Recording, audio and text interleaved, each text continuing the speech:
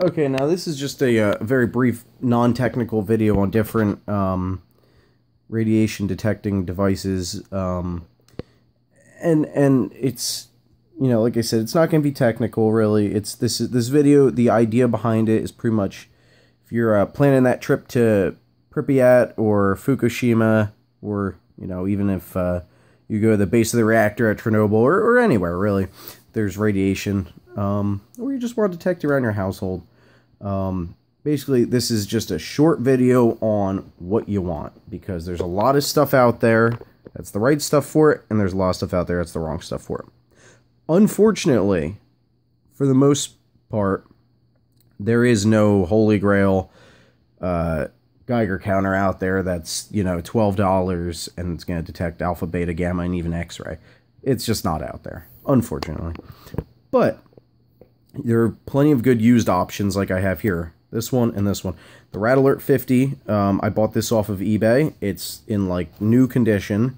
Works great. Calibrated. I mean, when it showed up, it was calibrated fine. Um, and it does a couple different things. Counts per minute. You could do total. You could do, uh, I mean, everything. It's got audio. Um, it ha it detects, as you could see, alpha, beta, gamma, and X-ray radiation. Very good unit. Um, this was used. Uh, it paid between eighty and eighty-five dollars for it with free shipping. Came with a nice, nice pouch carrying case with a, a belt loop right there. Uh, very good deal.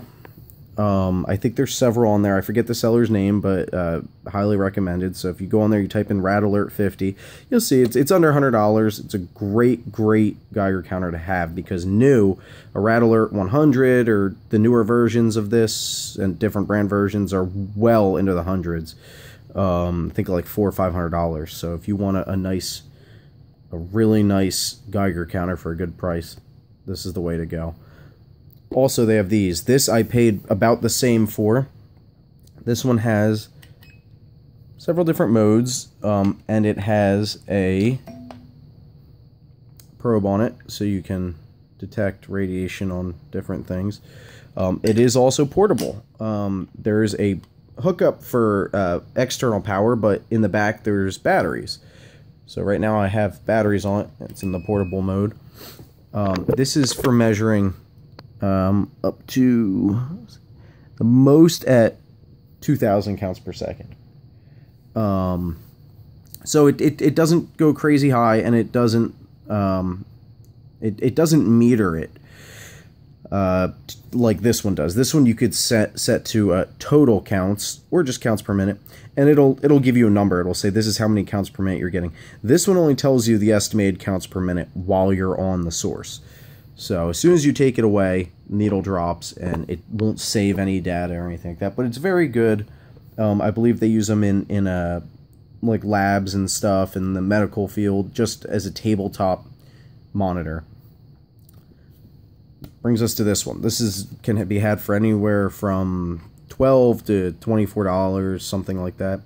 I think I paid twelve for it. This is for. You can see if I get my camera to focus here. Electromagnetic radiation. Now, if you type in Geiger counter or radiation detector on eBay or Amazon or one of these other sites, most likely this is going to look like the best option because it's so cheap and it looks like a Geiger counter. I mean, it looks like a sturdy piece of equipment, which it, it is. It's cheap, it's a very nice piece of equipment. However, this will not tell you anything if you are looking for nuclear radiation. This will tell you electromagnetic radiation. So, over here, I have americium. This is found in common household smoke detectors. Right there in the middle, right in the middle, that different colored metal. You can see, that's your americium. This is, like I said, in household smoke detectors. It is highly radioactive. What I'll do is a demonstration. I will turn on the electromagnetic radiation meter and we'll put it up to the viewer sensor whatever you want to call it up front and as far as this is concerned there's nothing there and I have it pointed straight into it nothing Doesn't detect anything. Nothing at all. So we'll go ahead and we'll turn this on. The Radalert 50. And I'm going to go ahead and hold it right in front of the, uh, the particle window. Wait till you see this. Oop. I think I'm missing the window a little bit. There we go.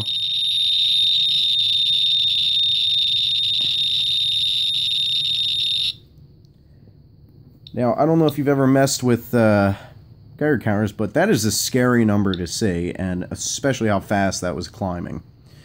So, what I'm getting at is you could buy this and you're going to have a false sense of protection because you this will not detect what you're looking for. If you're looking for a nuclear radiation meter. So, go ahead and shut down the Radalert 50. We'll go ahead and turn on the um, Series 900 mini monitor. And there's that familiar sound you hear in documentaries and everything of the Geiger counter. Look at that. One nice thing about the, the Series 900 mini monitor is you can actually set, with this little dial down here, an alarm. So, watch. Oop, didn't set it quite low enough. When it gets to a... The, the alarm is so that when it gets to a certain part on here, a certain scale, it'll actually uh, it'll actually set off an audible alarm. See? So it looks like our alarm is set just a little above 100. And you can control that through this. There's some different settings as well. Um, first setting for battery voltage, telling you if the battery is good or not. As you can see, the battery is fine. The needle would be right there or lower if it was not. You have sound on or you have monitoring with sound off. Sound off monitoring, it just moves the, the needle. So, yeah, uh, it's pretty good. Pretty good, uh, pretty good, um, radiation monitoring equipment, both of these. If you're going scouting, um, outside or you decide to take a trip to Three Mile Island to look around, see if there's any radiation, anything like that, um, probably you want something like this to walk around with. This is more if you're finding stuff on the ground because uh, it has the probe and everything, and you want to, you know, put the probe up to things and looking for rocks, sort of. Um, you know, th th this is kind of what you'd want for um, if you're, let's say, a geologist. This is more kind of background radiation as you're walking around, things like that. You could certainly use this the same way you could use the 900, but you would have to, you know, walk around on the ground like that and all. This is really for if you're, you know, walking through a contaminated area and you just want to make sure you're safe. Um, this is good for nothing, unless you deal with a lot of electronics. I will show you. This here is a transceiver. Right now I have it on the uh, International Space Station temporary frequency that they're using because their gear is down right now. Um, well, their their former um, frequency is the radio that that they're using for them is down at the moment. Uh, which, in case anybody doesn't know, you can with a ham radio license you can actually talk to the International Space Station, and uh, it's I mean it's really cool. So if you have your license, I definitely recommend doing that. But regardless, let's go back to uh, why we're here. So, you can see we're measuring electromagnetic radiation. Obviously, this is an electronic device. It is giving off electromagnetic radiation. Sometimes you just got to move it around. There we go. So, it gives it off. And if that's what you're trying to measure, this is great.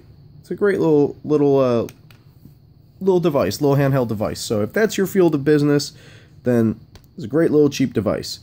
But don't make the mistake of, you know, trying to look for, you know, rocks, uh, you know, out, out, you know, outside that are radioactive or anything like that. You know, people do that. A lot of people, they use what's called a pancake for it. It's a different type of probe, but a lot more expensive. But you don't want this for that. So, like I said, let's uh, electromagnetic radiation will not detect nuclear types of radiation. Um, and actually, just for comparison, Now, it's normal to see this thing click a couple times. I mean, it could go anywhere from 0 to, I don't know, 16, 18. It could even go way higher than that, but typically I don't see it go much higher than that, just background. So I'll put it up to here. And got a couple little jumps. Nothing major, though.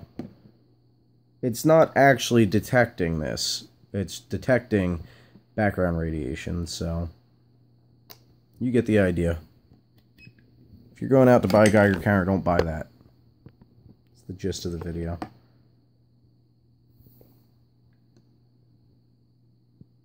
See that? I think we just got like one tick so far. Nothing. Eh, a little one. Nothing at all. Also, one more thing I'll say that, that I, I found very interesting. Um, in case you're interested in how these things actually work. The tube that's inside of there, there's a long tube. About that long, probably, maybe even a little longer basically what happens is it um, it creates, um, from my understanding, is some sort of uh, electro electromagnetic field kind of um, and what happens is I'm not sure if it's actually electromagnetic but but you have two probes in there um, that carry current and what happens is when a, a particle of a, a radioactive particle shoots through that tube it it makes that sound now you can the sound you're hearing with this is just raw sound. This one actually has a module in it that actually makes a beep. This, that sound you're hearing, that's actually, you're actually hearing the radioactive particles firing off of that and going through this tube. You're physically hearing them shoot out of out of this, the americium, through the air and go up through the tube inside inside of this probe as they fire through it, they actually affect the electrons that are inside the tube. And when this is hooked to a speaker, that's why you hear that sound. That sound isn't being produced by a circuit board or anything like that. That sound is literally hooked, you know, is, is these these particles flying through the tube and interrupting the flow of electrons. I always thought that was very interesting, and I'm sure somebody can do a way more technical analysis on that and use uh, the proper terms if I haven't. But this is just a very, very basic, bare bones video. If you're, you know, messing around online looking for uh, a Geiger counter. So, you know, a lot of people are interested in it. Um, like I said, if it's just something you want to walk around your house with and figure out, you know, what's radioactive, what's not, or out out in the wild or somewhere else, you do not want this. So so don't make the mistake of buying this. The price looks great. The device itself looks really good. I mean, it and it's a very nice device for the price for twelve dollars. I mean, this is this is great if that's your line of work. Not sure how accurate it is because I don't have anything to accurately measure. You know, uh, the the uh, the sensitivity of this, but um, yeah, like I said, you want to measure nuclear radiation. This and the